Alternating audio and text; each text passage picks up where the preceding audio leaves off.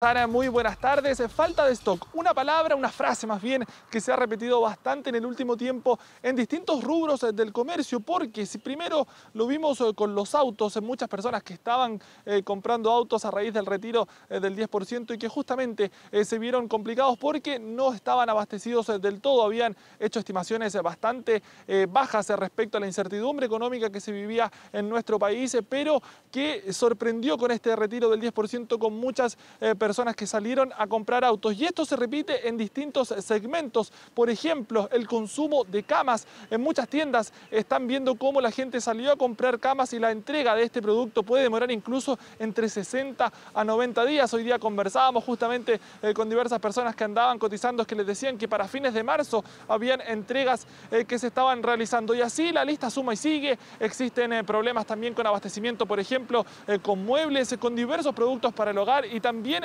con materias primas eh, como madera, cerámica y una serie eh, de, eh, de productos que se utilizan en la construcción. Conversamos justamente con personas que andaban cotizando el día de hoy diversos productos y que nos hablaban justamente de esta falta de stock y de la demora que hay en las entregas de muchos de estos productos. Y me sorprendió, la verdad, me sorprendió porque hay, hay, hay falta de stock.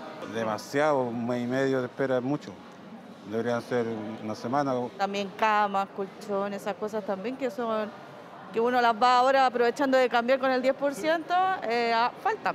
Por un colchón estaba para marzo. Claro, pues si yo quiero un colchón ahora, ¿cómo va a ser para marzo? Una situación que se debe a distintos factores. Lo mencionábamos, el retiro del 10% generó que muchas personas salieran a consumir y también que el mercado se viera sorprendido. Ese es otro factor. Las apuestas de ventas eran mucho más bajas eh, en, principios de fines de año y en principios de este y se sorprenden eh, con esta inyección de liquidez eh, que tuvieron muchas personas. Y lo otro son algunos problemas de producción. Siguen algunas zonas con bastantes problemas por los contagios, los aforos son reducidos, por lo tanto la producción no es como sería en tiempo normales. Y esto ha llevado a que muchas empresas tengan que ingeniárselas, ver la forma de poder llegar con estos productos, de cumplir eh, con las entregas. Algunos, por ejemplo, están con el método de venta en verde, es decir, por ejemplo, usted se compra una cama y la reserva para eh, la entrega que puede ser incluso a fines de marzo. Otros dicen que de alguna manera se han visto un poco perjudicados porque han tenido, eh, no han podido vender algunos productos. Conversábamos, por ejemplo, con algunas ferreterías que dicen que la entrega de productos de madera, por ejemplo, de cerámica, está bastante retrasada y la gente sigue viniendo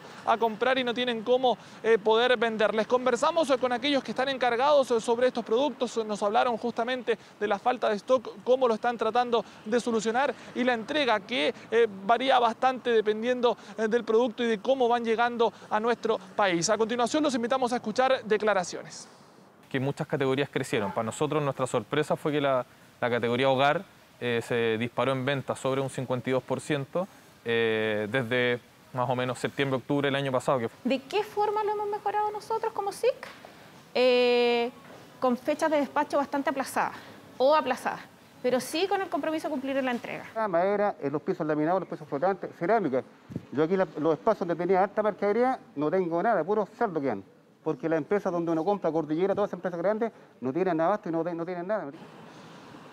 Falta de stock entonces eh, que sigue siendo una preocupación para diversos agentes del mercado. Les consultábamos el día de hoy cuándo más o menos se podría regular esta situación y la verdad es que no hay mayor claridad. Cuando comenzaron los primeros eh, problemas de productos por ahí por septiembre, octubre, se creía que a fin de año del 2020, en diciembre ya se podría normalizar. Sin embargo, ya estamos en enero y la situación eh, no se ve muy positiva para los meses que vienen. Esperan, eso sí, que no pase más allá de marzo, abril y que se regule la entrega de productos y que ellos también puedan estar abastecidos que la gente pueda consumir de manera un poco más normal. Nacho Tena, muchas gracias por toda la información.